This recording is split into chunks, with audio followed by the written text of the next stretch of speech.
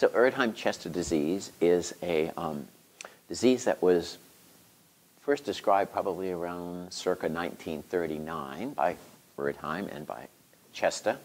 And they um, defined a disease that um, characteristically had histiocytes, or these myeloid cells that were filled with fat and filled with lipid, and they accumulated in different tissues of the body.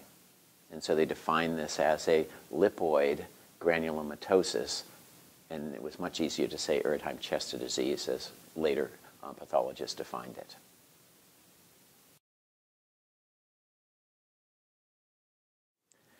So how do patients get Erdheim-Chester disease is still unknown. It usually um, happens in people in their early mid-50s, although it can happen at any age. The cause is really unknown. It is um, more recently defined as a disease that is characterized by, maybe half at least the cases, um, having a mutation of a protein called BRAF, B-R-A-F-1, BRAF1, and that of some interest is also been shown to be a mutated gene in Langerhans cell disease. So um, there may be a mutation of a gene that leads in part to Erdheim-Chester disease.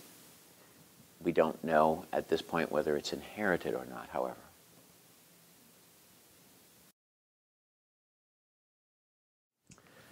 So the diagnosis of ECD is um, almost always done by a combination of the clinical features of it, and those can involve most commonly patients presenting with bone pain, particularly in the long bones of their legs.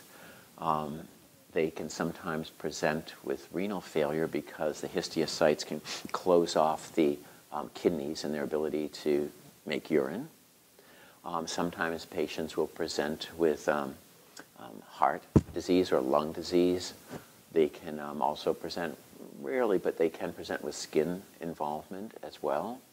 And sometimes, quite severely, they can present with um, central nervous system involvement, diabetes insipidus, or true um, ataxia or lack of the ability to balance oneself. So those clinical features are characteristic. And then radiographically, um, Erdheim-Chester disease is characterized by infiltration in the bone, the long bones, by x-rays or by bone scan by CAT scan or PET scan accumulation of the Erdheim-Chester disease cells around the kidneys or sometimes in the lungs or even in the brain, as I mentioned.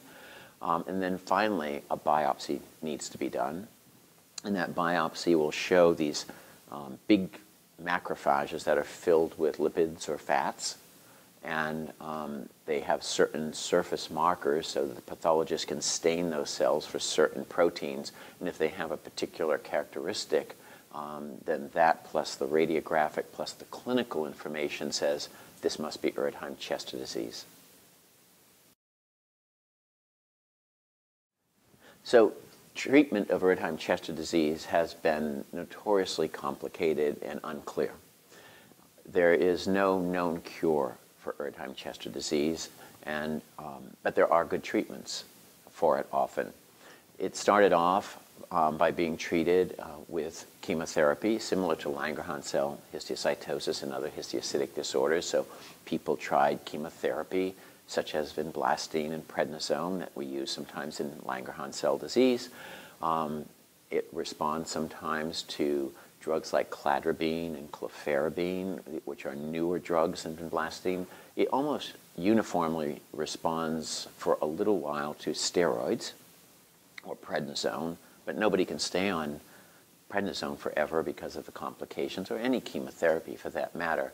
And so with those kinds of therapies being useful but not very helpful in the long term, people started to look for other avenues of treatment.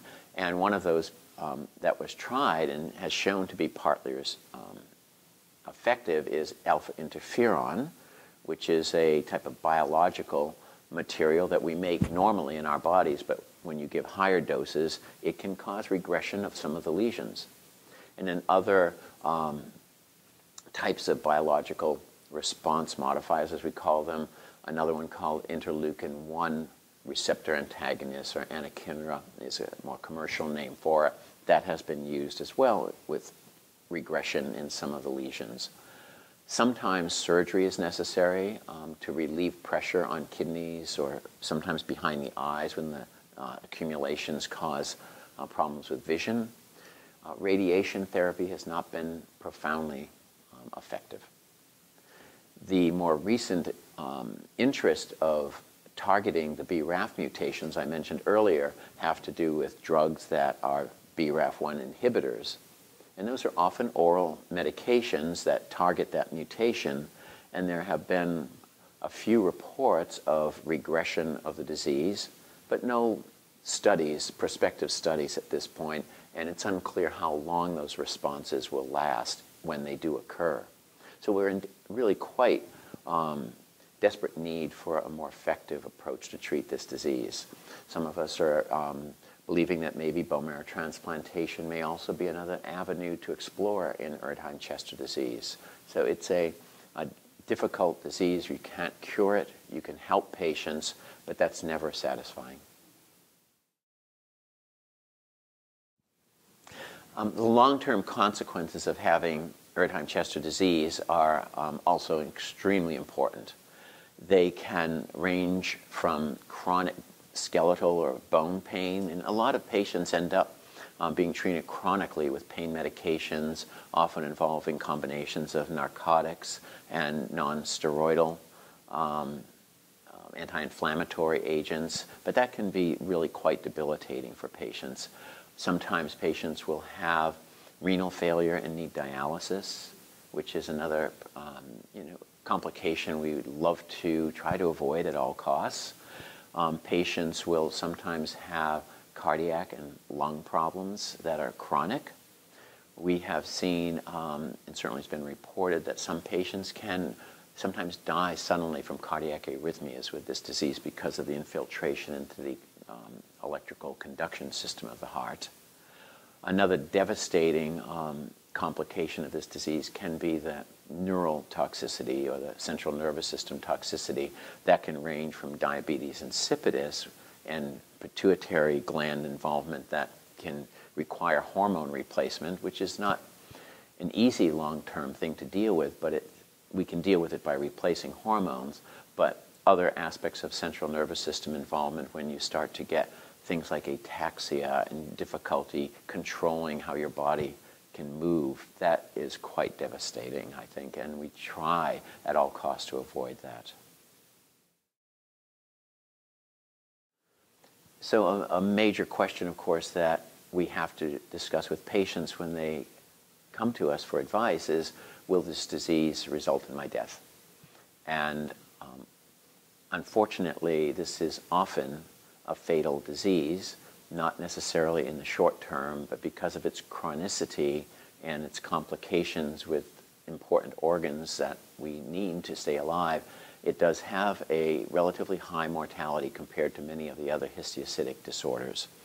Um, that only has spurred investigators on to try to come up with more effective treatments much faster than we might otherwise do. And so our hope is that maybe targeting some of the mutations may help um, at least extend life, if not put the disease into real remission that we hope we can achieve, just like we do in certain types of leukemias.